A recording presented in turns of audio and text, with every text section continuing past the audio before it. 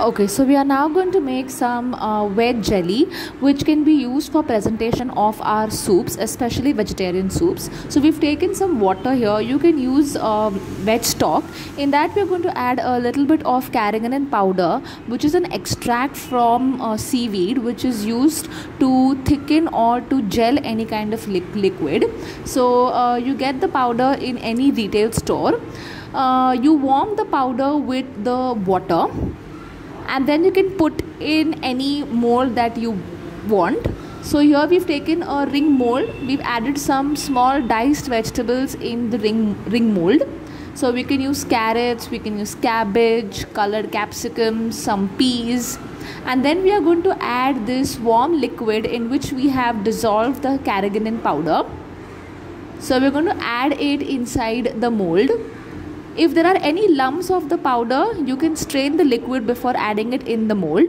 Once the uh, liquid has got completely set inside the fridge for about 2 or 3 hours you can demold it like this into your presentation plate. So here we've taken a soup plate in which we have demolded the jelly. So if you see here the liquid has got completely set and has taken the shape of the mold so when you pour the hot soup on top the the carrageenan melts the entire jelly will melt and it will get dispersed evenly within the soup.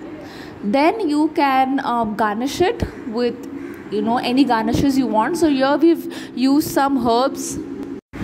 So you can use um, microgreens. So we have different kind of small small herbs or microgreens here. We have fennel we have mint okay we are putting some small baby basil leaves. You can have uh, watercress or uh, radish microgreens if you have some edible flowers. You can add that as well.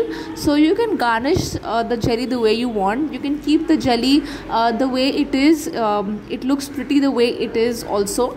Uh, so usually the jelly is presented in the soup plate or the presentation plate. It is put in front of the customer and then the hot soup is poured in front of the customer.